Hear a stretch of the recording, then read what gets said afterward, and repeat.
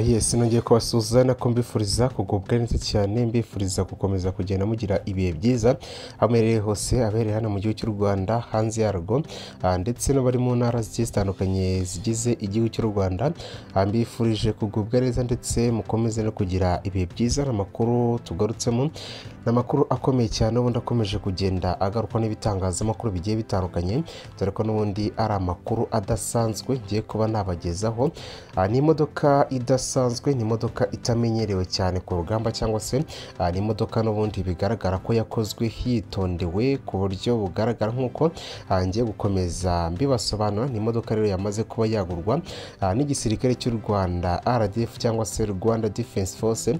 Ubwo rero byose ngiye kuba nabibagezaho gatanu ku kandi gusa si ibi rero ndibuze kuba nabagezaho gusa ndaza no kuba nabagezaho ukuntu imirwano hagati y'umutwe wa emu makumyabiri na gatatu ndetse n'igisirikare cya FARDC cyangwa se ihuriro rya guverinoma ya Congo ririmo FARDC rikabamo ingabo z'abarundi zikabamo sadeke wazarendo FDL mayimayi nyatura n'indi mitwe igiye itandukanye yose iri gufasha cyangwa se iri kurwana ku ruhande rwa FARDC mu mirwano n'ubundi bahanganyemo n'umutwe wa M makumyabiri na gatatu guverinoma ya Congo idahwema gushinja ko iterwa inkunga n'igihugu cy'u Rwanda ndetse n'igihugu cya Uganda nk'uko ariko igihugu cy'u Rwanda ndetse n'igihugu cya Uganda cyakomeje kugenda kibihakanira kure kinabyivuye inyuma.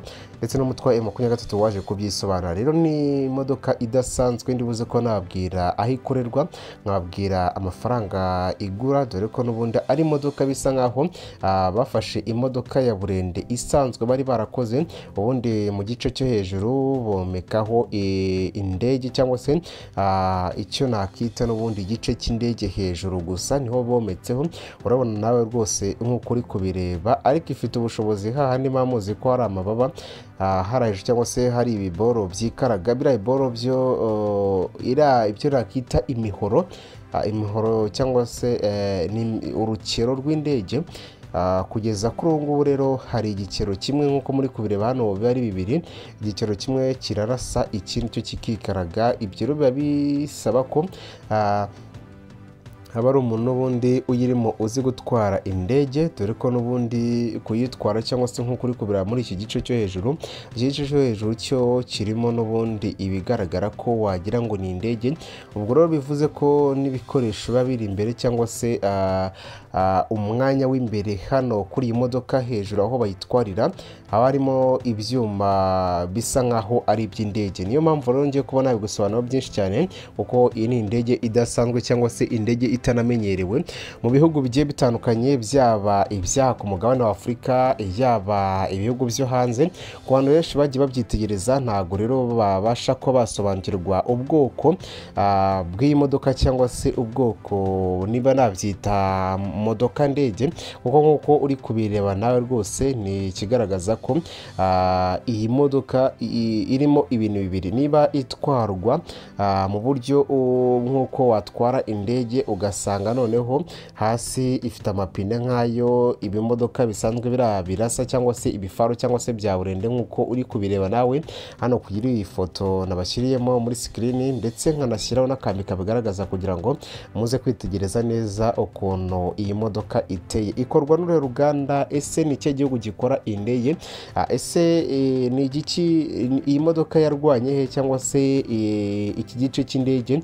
Kuko niko nabyita nimbyita gutyo rwose. Mutaza kugira ngo hari ibindi kuko bitewe n'ukuntu igaragara abantu bose babona ko imeze nk'indege neza neza. Byose rero tugiye kuba twabigarukaho gatanu ku kane ah, tubyinjiremo mbe nabikuvira imuzi mbigere imuzingo kugira ngo nawe ubashe gusobanukirwa byinshi bigiye bitandukanye cyangwa se twinjire n'ubundi mu isi y'ubucukumbuzi ndetse ah, no kumenya ibigiye bitandukanye cyangwa se ah, aho amakuru menshi aba agiye aturuka. Dore ko iyi modoka ndahamya neza ko atari abantu benshi bayizi kuko ni imodoka yatangiye kurwana ah, muri bibiri na makumyabiri. Iyi modoka n'ubundi yakozwe ah, n'umuhanga bita johnson ni umuhanga n'ubundi ah, wavukiye muri leta zunze ubumwe za amerika ni we wakoze iyi ndege. Byose rero mu nyemerere dukomeze kugenda tubirebera hamwe gusa rero niba ari ubwa mbere ugeze hano kuri cano ndagusaba gukanda kuri subscribe kugira tujye dukomeza kubana amakuru agiye atandukanye abavugwa hano mu rwanda ndetse n'avugwa hanze yarwo. Ndakubwira ibitangaje n'ubundi kuri iyi modoka ndege kugira ngo ubashe kubasobanukirwa dore ko ikoshwa akayabo k'amafaranga ahambaye kandi ikindi inyuma yayo ishobora kubika ibisasu byinshi cyane kuko ibifiteho umwanya munini. Niyo mpamvu rero ishobora kwitabazwa. Ibi rero bibaye mu gihe rero n'ubundi umwuka mubi hagati y'igihugu cy'u rwanda ndetse na repubulika iharanira demokarasi ya kongo ndetse n'igihugu cy'u burundi ukomeje kugenda wiyongera. Ikindi ndibuze kuba nakubwira kuri iyi modoka ntabwo ari ibyo byonyine ikora gusa ahubwo igira n'ubwoko bw'ibisasu birekura ah, bikaba byarinda ikirere icyo bakita n'ubundi ah, air defense system. Ibyo rero ni bya bisasu biba bikumira ibindi cyangwa se ah, bihagarika ibindi cyangwa se bikaba byanabipfubya yaba ari ibisasu by'indege iyi rero na yo ifite ubushobozi bwo kuba bya- yabikora. Byose rero ngiye kuba nabigarukaho kugira ngo n'ubundi ukomeze kugenda usobanukirwa byinshi kurushaho n'indege n'ubundi cyangwa se n'imodoka ikorwa n'ubundi. Ah, hifashishijwe ibyuma bikomeye cyane. Ni indege irimo ni imodoka irimo ikoranabuhanga ridasanzwe cyangwa se icyo nakita ingurukanabumenyi. Kuko n'ubundi ah, bayishyiramo ibintu bigiye bitandukanye harimo n'imbuga nkoranyambaga muri iyi modoka ah, hakabamo interineti ya 5G urabizi ko itarakwirakwira ahantu hose. Rero igihugu cy'u rwanda kikaba cyamaze gukosha iyi modoka yo mu bwoko bw'intambara cyangwa se imodoka ijyanwa ku rugamba. Ikindi kidasanzwe kuri iyi ndege mu gihe rero itari kugenda ku butaka cyangwa se muri cya gihe imodoka ishobora kurenga ku musozi iyi ngiyi ishobora guhita yaka mu buryo bw'indege cyangwa se bino aya mababa yayo cyangwa se icyo nakita urukero rw'indege ah, rutangira kwikaraga rero ikaba yabasha kuba yajya mu kirere gusa. Ntiyagera kure bitewe n'ibiro iba ifite kuko ibiremereye cyane. Icyo ni cya kidahetse ibintu byinshi ariko ah, ntabwo yapfa kumanuka ku musozi ngo yigere hasi ngo yikubite hasi mu buryo bworoshye cyangwa se ngo ishwanyagurike kuko n'ubundi iba ifite ibi icyo hejuru cyangwa se icyo nakita n'ubundi umutwe ukabona ko ari umutwe w'indege n'ubundi Ah, n'ubundi umu- umupayiroti cyangwa se ah, uwo nakita n'ubundi sinzi niba namwita umushoferi kuko n'ubundi ukuntu bayitwara bayitwara nk'indege. Reka njye mwita umupayiroti kuko icyo gihe ahita n'ubundi acana ah, ibyuma n'ubundi by'indege cyangwa se uko basanzwe batwara indege n'ubundi akaba yabasha kuyishyira n'ubundi mu kirere gusa. Nubwo itatinda kubera n'ibiro byinshi bifite ariko ishobora kuba yagendera hafi hafi aciye bugufi ariko ntigere kure cyane. Ibiro ni ibigaragaza ko ikiremwamuntu n'ubundi gikomeje kugenda gitera imbere mu bintu byinshi bigiye bitandukanye haba mu ikoranabuhanga rigendanye no gukora intwaro haba no mu bindi bigiye bitandukanye urabona ko isi ikomeje kugenda yiyubaka. Iri rero ibi bisaso cyangwa se ah, ubwoko bw'imodoka z'intambara bwatangiye gukorwa mu mwaka ah, w'igihumbi magana cyenda mirongo cyenda na gatanu ariko iza kuronshingwa cyangwa se iza gutangira gukoreshwa mu mwaka w'ibihumbi bibiri nk'uko natangiye mbikubwira urumva ko rero itamaze n'igihe kirekire kuba wayigura rero ari ikiri nshyashya na byo biba binagoranye cyane kuko iba yifuzwa na benshi kuko akazi ikora biba bigaragara ko n'ubundi abo bagabo cyangwa se icyo gihugu kiba cyikoshe na cyo kiba cyifite ku gafaranga kuko iki gihugu kugeza kuri ubu ngubu ah, iyi modoka cyangwa se abajya bakurikiranira hafi ibintu bibera mu buri Ukraine cyangwa se intambara Ukraine n'Uburusiya.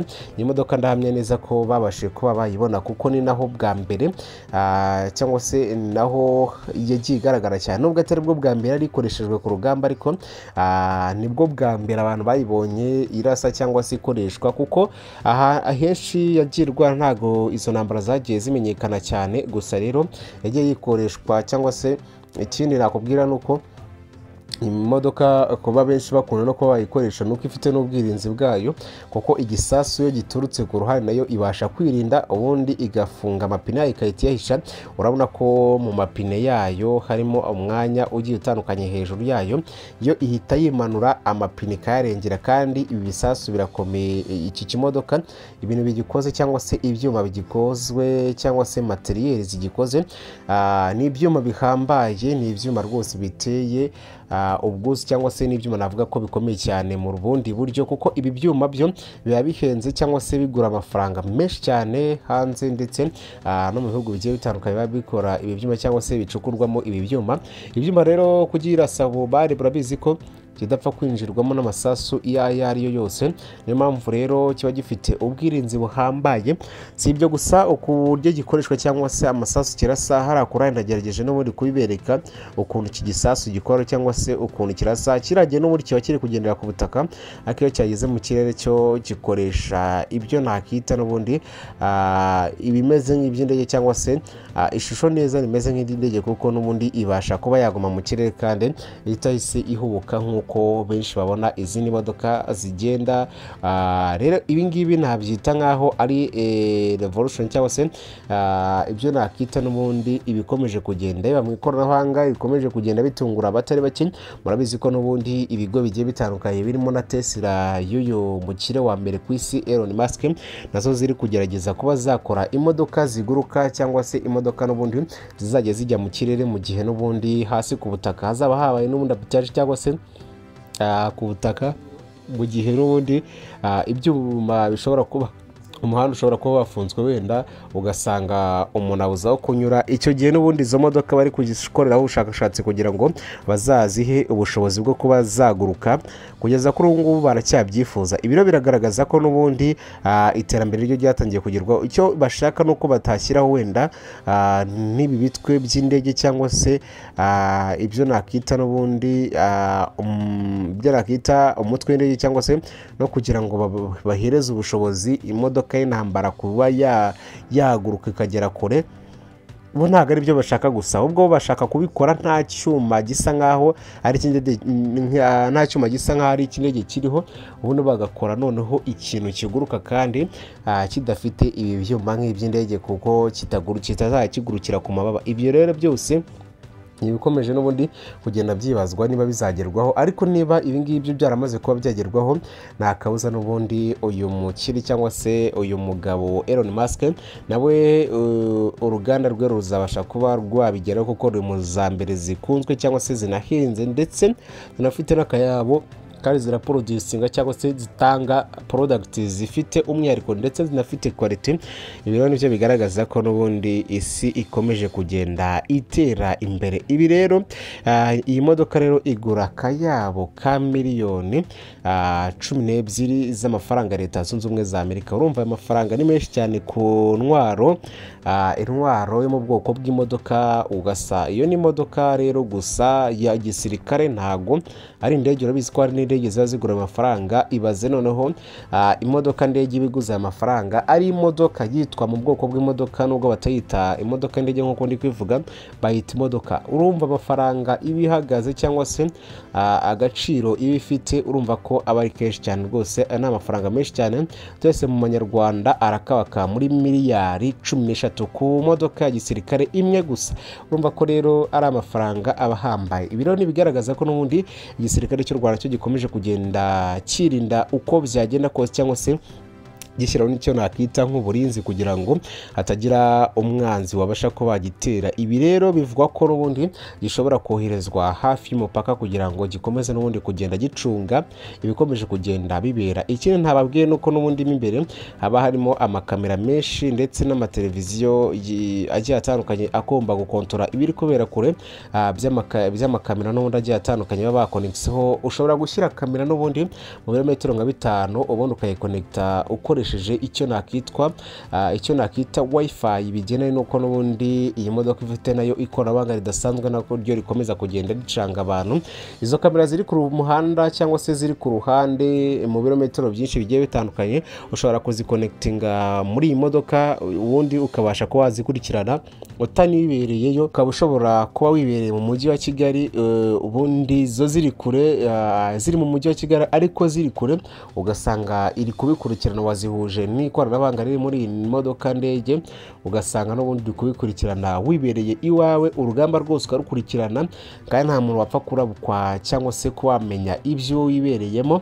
Iki rero ntibivugwa ko gishobora kuzajyanwa ku mupaka nikimara kuba cyagera mu gihugu cy'u rwanda nubwo bakiguze ariko ntabwo kirabasha kuba cyagera mu gihugu cy'u rwanda. N'ubundi igisirikare cy'u rwanda rdf kibe cyakimurikira abaturage cyangwa se kibe cyakimurika mu gihe cyaba kiri gukora imyitozo. Gusa rero mu minsi iri imbere tuzabona bakitumurikiye cyangwa se cyamaze kuba cyagera hano mu gihugu cy'u rwanda. Nikimara kuhagera n'ubundi nanjye ndi hano ku bwanyu nzahita mbagezaho amakuru yose yuzuye kandi muzagenda munabona n'amavidewo menshi abantu bazakifotorezaho kuko ni ikimodoka kidasanzwe kitamenyerewe kidakunzwe kuboneka ahantu henshi hagiye hatandukanye. Gifite ubushobozi rero bwo kurekwa n'ubundi bisasu bihambaye nk'uko nakomeje kugenda mbikwereka. Ubwo rero ku munsi ukurikira cyangwa se nikimara kuba cyagera hano mu rwanda nzaza nsanye na video nkwereke ukuntu gikora cyangwa se ukuntu iyo iri kugenda iba iteye kugira ngo kugira ngo nawe ukomeze kugenda ubisobanukirwa mu buryo bugiye butandukanye. Reka ngushimire kandi nkwifurize kugubwa neza cyane dusubire mu makuru yacu akurikira astra vista.